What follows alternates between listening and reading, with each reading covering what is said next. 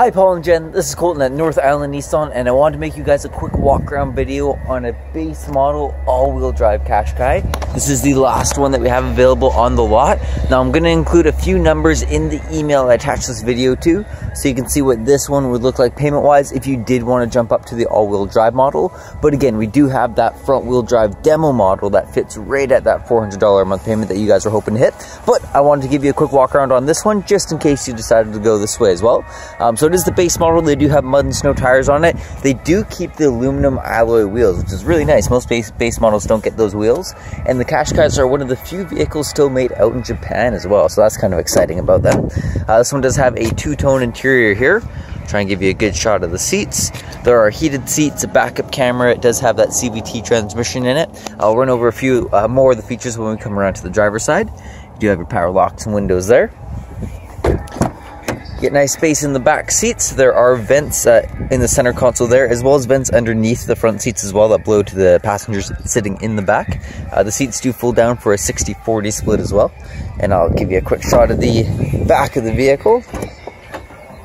There is a privacy cover that comes with this model, so there's a little panel here. Uh, you can take this out completely, or you can just kind of have it sit flat there. Uh, that's a great one to have for groceries as well, because if you do keep groceries in the back, it does keep them nice and cold. Kind of gives them some shade from the sun on the hot summer days there. And then with the storage space back here, you have a ton of storage space actually. Um, quite good for uh, if you need to store golf clubs or anything like that, you can fit those back there.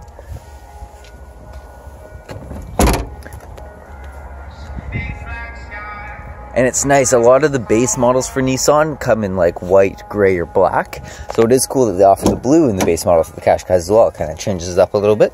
Uh, of course, you do have your power locks, windows, and mirrors are up top over there. Uh, it is a soft touch material here. It's kind of like a gel almost. Uh, for the seats, it is a manual seat, of course, but you can uh, raise it up and down with, it, with this. You can kind of pump it up or lower it down.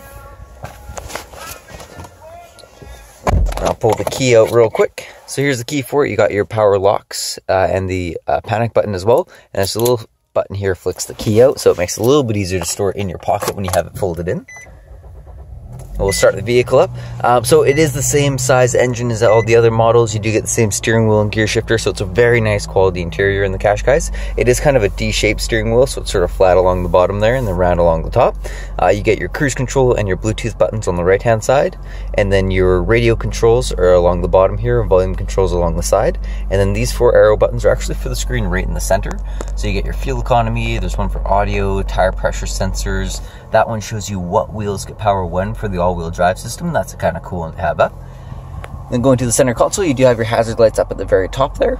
Uh, going down, the radio controls are pretty straightforward. You got all your sources on the left-hand side, your seek buttons on the right, six different presets along the bottom, volume on the left, and tuning knob on the right-hand side there. Uh, temperature controls, you got your fan strength on the left, temperature on the right, and all of your different modes are in the center.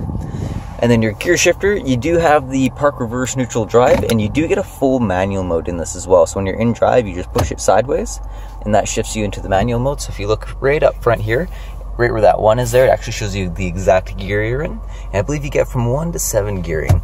Um, so like if you're coming down from the mountain, you can kind of downshift on your way down.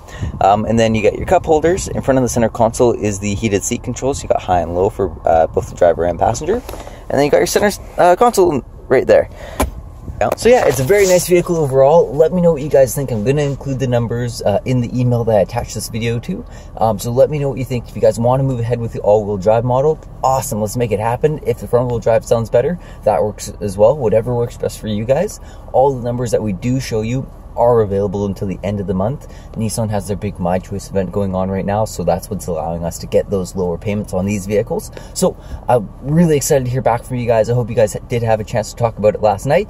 Let me know what you think of this vehicle and if you'd prefer the front wheel drive or the all wheel drive model. Have a great rest of your day. Goodbye.